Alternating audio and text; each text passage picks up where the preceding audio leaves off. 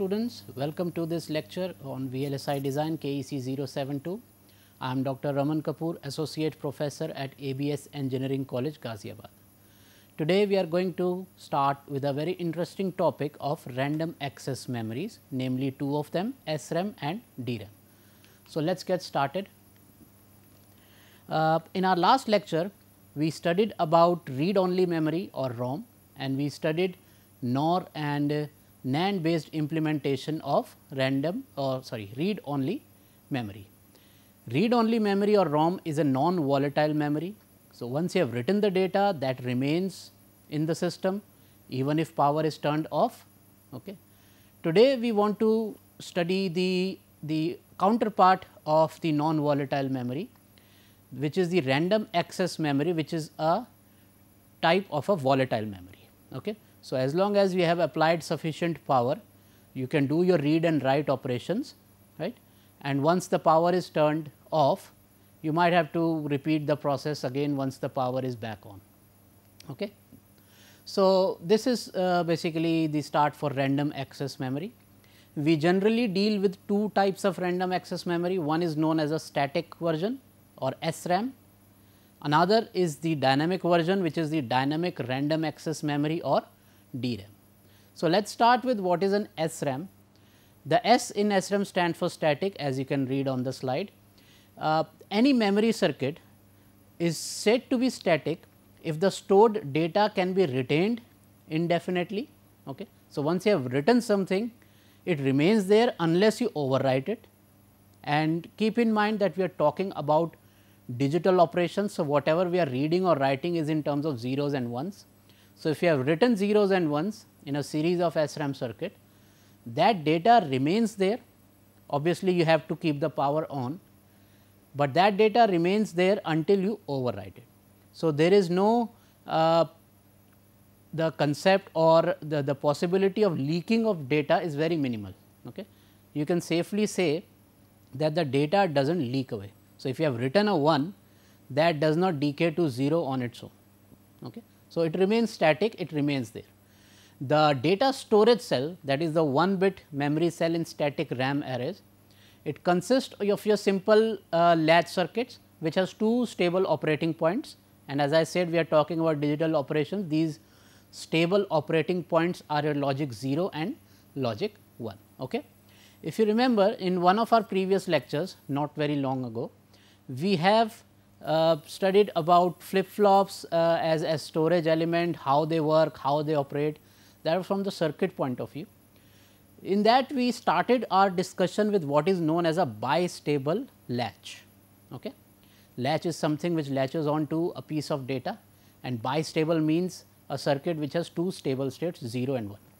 That bistable element, if you remember the circuit, we had two cross coupled inverters. Okay. So, if we apply a 1 here, you would get a 0 here which is fed back to another inverter. So, you get 1 again. Okay. So, this end you can consider as q and this end you can consider as q bar. Two outputs which are complementary to each other. Okay. So, suppose if you are if you are reading one or if you have stored a 1 here that one remains here, this 0 remains here, the data is latched onto. This bistable latch element forms the basis for your static random access memory. This you can consider as a starting point for your SRAM analysis. Okay. Now, this is again that cross coupled inverter only. Okay. The only addition you can see in this bistable latch is that you have two access columns here. Okay. These are known as your access columns. So, you can access the data if you want to read something which you have already stored okay. or if you want to write something which you want to store you can do via access columns. These are also known as your bit lines sometimes abbreviated as BL. Uh, for ease of operation, for noise immunity and for many other reasons you actually do not have one bit line or one access column. you have a pair of them and the pair is complementary to each other. So, you can have a bit line C here and you have a bit line C bar here. Okay. So, they both are going to be complementary to each other, right. it comes in a pair. To access the data contained in the memory cell, so this is your memory cell, this becomes your memory cell, okay, cross coupled inverter.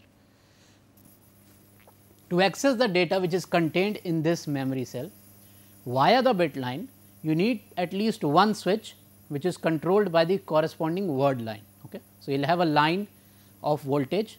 Okay. If you activate it, you have activated your bit line via the word line okay, and that word line basically tells you the address or the location of the data.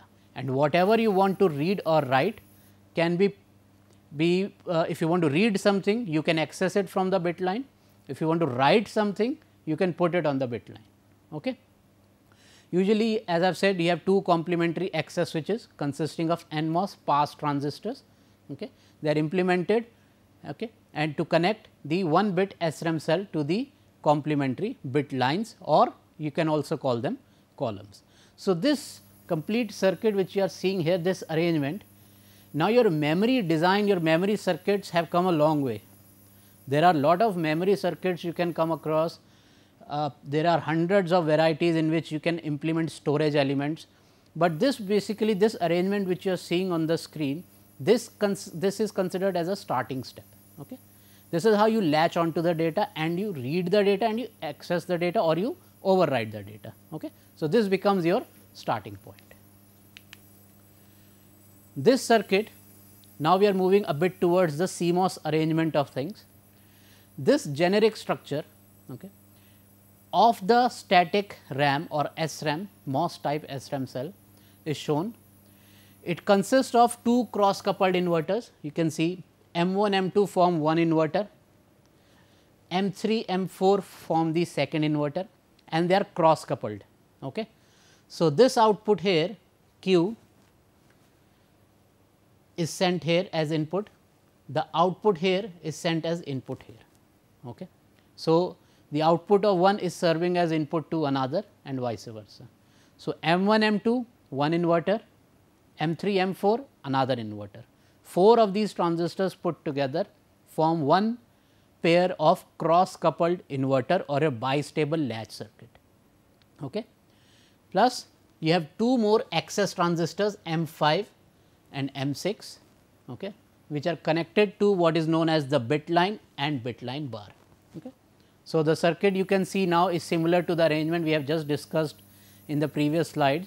You have cross coupled inverters for your memory element or memory cell followed by a pair of access transistors or access switches. Your transistor is also a switch. Okay. For accessing data whether to read or write you use another pair of pass transistors. These are usually enhancement type n channel MOSFETs. Okay. So, you can see this complete arrangement can be used for storing one bit of data or it can also be used for reading one bit of data. Okay. And this is also known as commonly known as the 6T SRAM cell. 6T means 6 transistors. If you count the number of transistors, each inverter needs 2 transistors. So, you have 2 inverters so, that makes 4 transistors and you have 2 access transistors also. So, in total you have 6 transistors for storing or reading of 1 bit of data. This arrangement is known as 6T SRAM cell. Now, let us just see how you can basically uh, do the reading and writing and how you can implement it in a circuit itself. Okay. This is your CMOS implementation of static random access memory. The major advantages being it offers very low static power consumption, it has good noise margin, the switching speed is very decent enough. Okay. The only disadvantage is that takes a lot of area, we will find an alternative to that also, okay. but let us just focus on the SRAM cell for now. Okay. So, see these transistors M1, M5 that is one inverter for you, M2, M6 that is one inverter for you. The output of this inverter is being fed as input here and the output is being coupled here. Okay. So, they are cross coupled. you have M3 and M4 these are your access transistors. Okay. So, M1, M5, M2, M6 these are your cross coupled inverters. Okay. This form your cross coupled inverter cell your so called storage element. Okay. It has two stable states, so it can store either a 0 or a 1. M3, M4 become your access transistors. Okay. These are used for your access. Okay. While reading you want to access the data, while writing you want to put the data through. Okay. So, these M3 and M4 are your doors to your memory cell. Okay. They are your access doors to the memory cell. In addition, you can see here you have one transistor here and you have one transistor here. Both are p type, they are these are PMOS transistors. The gate is always grounded, so they are always on, right. These two capacitances, capacitive nodes are always charged to VDD. Okay. So, when this is on, this is charged to VDD. So, you have a VDD here and you have VDD. Okay. These are going to help you during your reading and writing times. right? So, let us just see this is this complete arrangement and this is your word line here. So, you put the this is for accessing your data okay. and whatever you want to uh, write also you can put it here and that uh, basically allows you to uh, access the memory cell. Okay. So, any, any row address decoder is going to allow you to operate the word line. The word line basically turns on the bit line, the bit line does the read and write part okay, and the memory cell stores it. Right. So, let us see how the read operation works. Okay. Suppose this is one of the output node, let us call it q and let us call this node 2 as q bar. Okay. Suppose 1 is already present here okay. logic 1 is present here and I want to read this data. If 1 is present here, this is provided to this point. Okay. Sorry. Let us just say that q is 0, okay. not 1, but 0. Let us just say that this point node 1, okay. so it is written 1 here, but this is node number 1. This is not logic 1, this is node number 1. Node number 1 is 0 here okay. and node number 2 is logic 1 here because they are complementary to each other. This is coupled here, this is coupled here cross coupling. What it does is it makes this M 1 on and it makes M 6 on. Okay. So, now M 1 is on and M 6 is on, M 5 is off and M 2 is off. So, the ones which are highlighted in bold they are on, the ones which are dotted are they are actually off. Okay. Now, this capacitance and this capacitance both are charged to VDD. So, they are at logic 1 right. Suppose I want to read this right. I apply VDD here, I apply VDD here to M3 and M4 my access transistors. They are NMOS, so they turn on. Now, M3 is a closed switch, M4 is a closed switch, there is a path available. Okay. But now see there is logic 1 here and there is logic 1 here and there is a closed switch in the middle. So, between this point node 2 and this C C bar there is no voltage difference, there is no potential difference. Okay. So, there can be no uh, exercise or no process of charging or discharging at this point. But if you look at this point, this end C C, this node is at logic 1 this node 1 is at logic 0, there is a potential difference between them. Okay. So, this node and switch this M 3 is also on right. So, this node C C starts to discharge, it starts to discharge here okay. and while it is discharging okay, at some point of time the, the voltage across this C C is going to reduce, but the voltage across C C bar is going to remain same at logic 1. These two voltages will then be passed on to a comparator circuit uh, some kind of a differential amplifier which compares the difference of uh, two terminals okay, and gives an output which is an amplified, amplified form of the difference. Okay. So, if this voltage voltage across C c goes down it basically means that a logic 0 was stored there at, at node 1. Okay. That differential amplifier via its output is going to tell you that a logic 0 was present here because it is it, the output of that comparator is going to observe a drop here, a drop in the voltage across capacitor C c. Okay. If the opposite was true, if a 1 was here and a 0 was here, the same process would happen at this node. So, the comparator's output will be opposite in this case. Okay. So, you can have a comparators designed in such a way which measure the drop in voltage across this node or this node.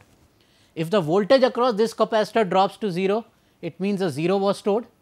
If the voltage across this node drops to 0, it means a 1 was stored here. This is basically what is happening, a reading cycle is happening.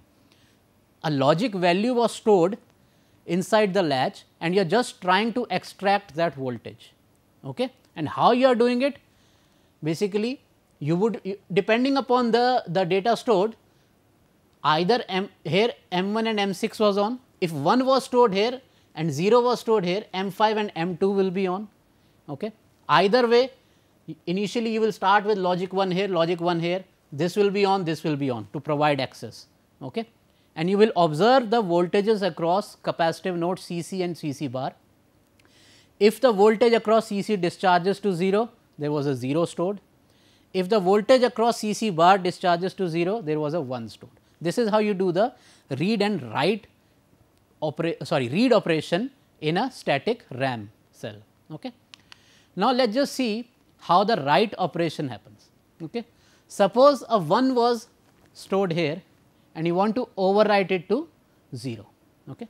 So, initially let us call this node q, it is holding 1, this is q bar, it is holding a 0.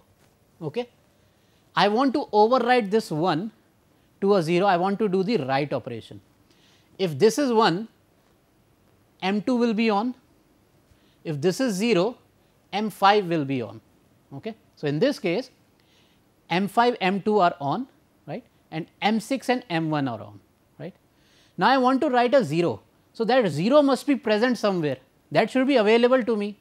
Okay. Whatever I want to write that should be available somewhere. So, this column here C I am going to make it 0 volt, I am going to connect it to 0 okay, logic 0. This C bar remains at VDD. Okay. Now, I have applied VDD at the gate terminals of my access transistors M3 and M4. So, they are on they are providing me access. Okay. So, slowly and steadily what will happen I have a 1 here I have a 0 here I have a 0 here I have a 1 here. Okay. Because this M2 is on this q bar always remains 0 even though there is a potential difference here this q bar remains at 0 here, but what happens here there is no path here right now. Okay this bar starts to discharge to this ground. Okay. This node 1 the q equal to 1 it starts to discharge here to 0. Once this starts to discharge okay, at some point of time M 2 is going to turn off when threshold voltage is exceeded on the downside. Okay. So, when q is discharging at some point of time it is going to go below the threshold of M 2. At that time M 2 is going to turn off. When M 2 turns off, right, if M 2 turns off here, right, that is going to do the opposite of that. M 2 turns off, right. Now, there is a path here, right. Now, this can get connected to 1 here, q bar will become 1. Okay. Earlier what was happening? M 2 was on, so q bar was connected to ground here. It was able to discharge, it was at logic 0. Slowly when Q starts to discharge via this C, at some point of time it is going to go below the threshold of M 2, M 2 turns off. When M 2 turns off, this one, this is on gets connected to 2. Q bar switches, take some time, switches to logic 1. When this switches to logic 1, M 5 goes off okay, and M 1 turns on, right. When M 1 turns on, this is a cross coupled stage. Okay. So, when q bar goes 1, q goes to 0. Otherwise, also you can see when M 2 goes off here, this point was coupled here, M 5 is now off, this has discharge. So, this is off okay. and this part here, this is going to turn on. Okay. Either way, M 1 is going to go on, when M 1 goes on, there is a path anyways q has discharged okay? Anyways q has discharged via c. Okay? And whatever scope was left it provides a path here towards ground. So now q goes to 0 so what is happening? Earlier i had a logic 1 present. Now logic 0 is present. So what i have done i have overwritten the data. Right?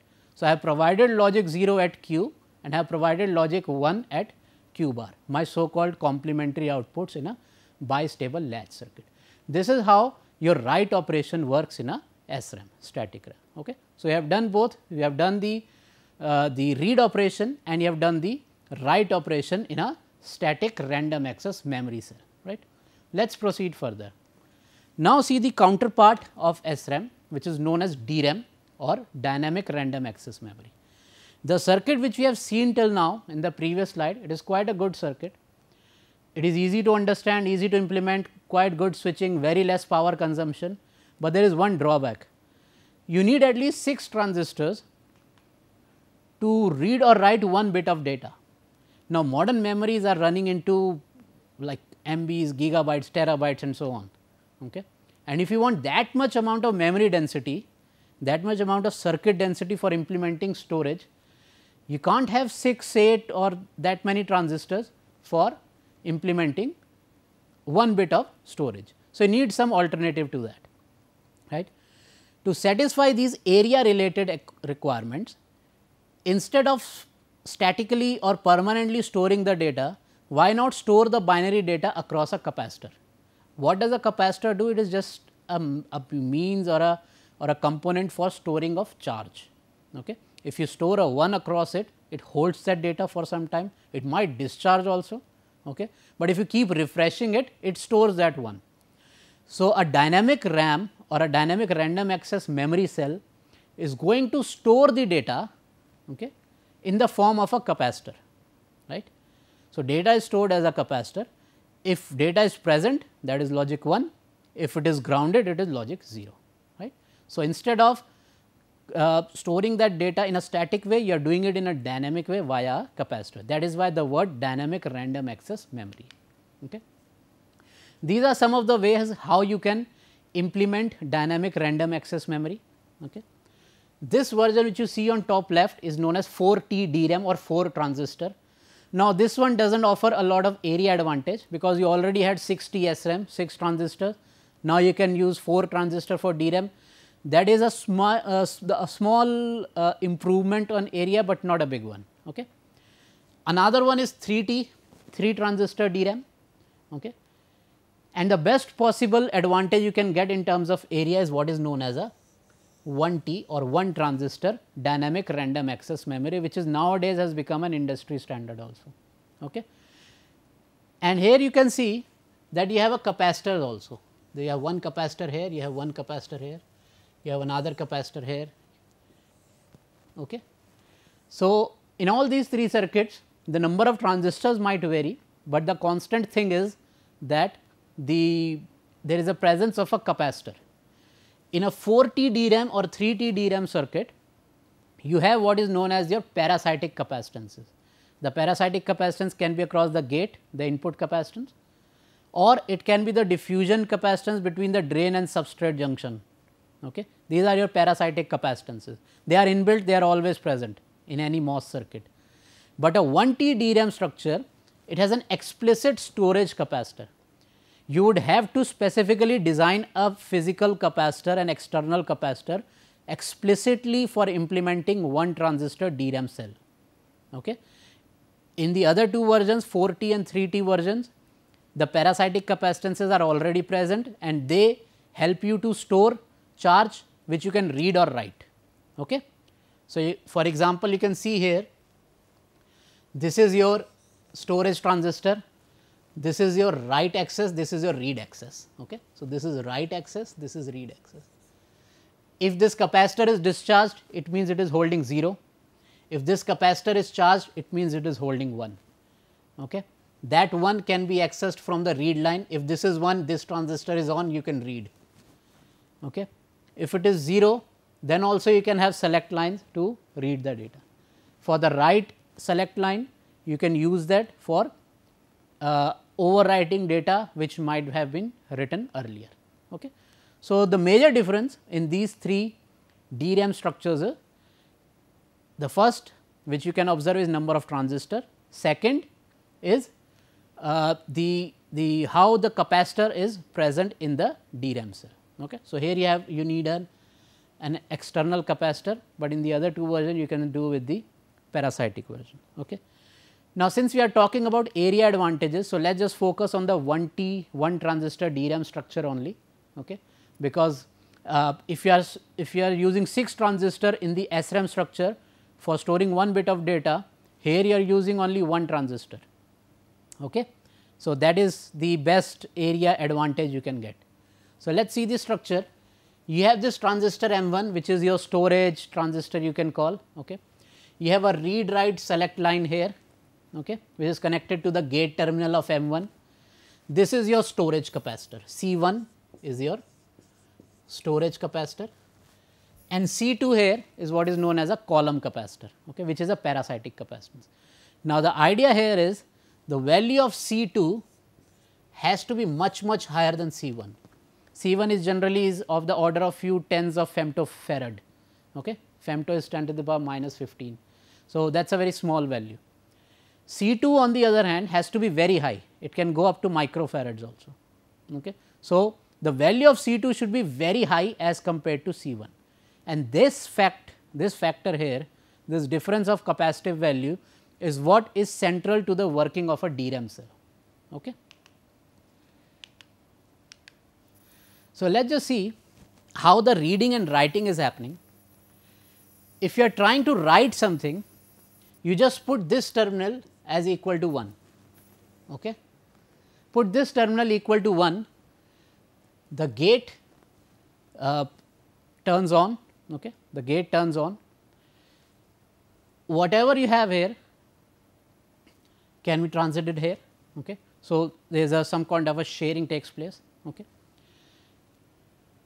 Whatever is present, right, you can read it from here whether it is a 0 or a 1 when this switch is on. When you are trying to write, how you see the writing? Like reading is pretty straightforward, you turn M1 on and see what is the voltage across C1. If there is no voltage, logic 0 is there, if a high voltage is there, logic 1 is there. Okay. That is the that is how you do the reading part across a DRAM. Sorry, that is how you can do the writing part. Sorry, if you put this equal to 1, you can turn this on and you can charge or discharge your capacitor via the data input here. Put a 0 here, it gets charged to 0, put a 1 here, it gets charged to 1. Okay.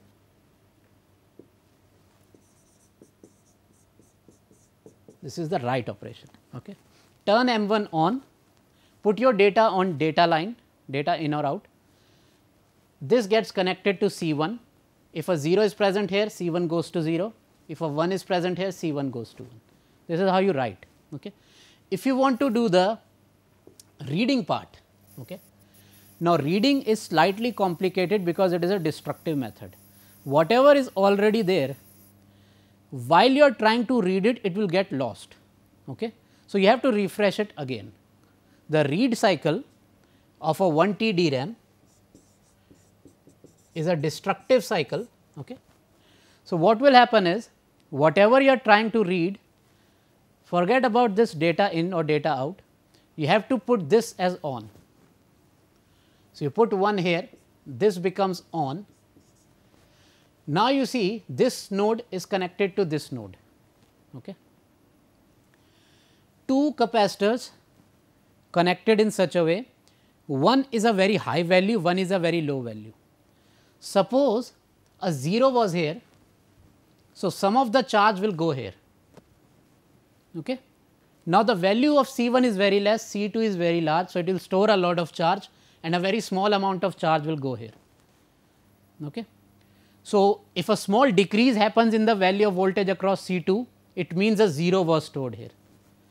Vice versa, if a 1 is there and when M 1 is on, based on charge sharing, a small amount of charge will go from C 1 to C 2. So, the voltage across C 2 will go slightly up. This slight increase in the voltage across C 2 means that logic 1 was stored here. Okay. So, if the voltage across C 2 goes down slightly, it means a 0 is being read. If the voltage across C 2 goes up slightly, it means a 1 is being read. This is how read cycle is done. But now what is happening here? If a 0 was present, some voltage comes here and it becomes 1 because the value of capacitance is very small. If a 1 was present here, it goes here and it becomes a 0 because it was holding a small amount of charge. Either way, if you are reading a 0, it gets converted to 1. If you are reading a 1, it gets converted to 0. That is why the read cycle is called as a destructive cycle. When you are trying to read data from a dynamic RAM cell, the data is basically lost. Okay. So, 0 gets converted to 1, 1 gets converted to 0. So, you have to do a periodic refreshing of data also. Okay. So, with this we come to the end of today's lecture. We have discussed a very important topic of random access memory and we have discussed two types of memories SRAM and DRAM. Okay. We have done the working, we have seen how reading and writing operations take place and we have done a comparison also. Okay. And with this we can say that with area requirements taking the forefront, dynamic RAM cells tend to get used more than SRAM. Okay. Thank you.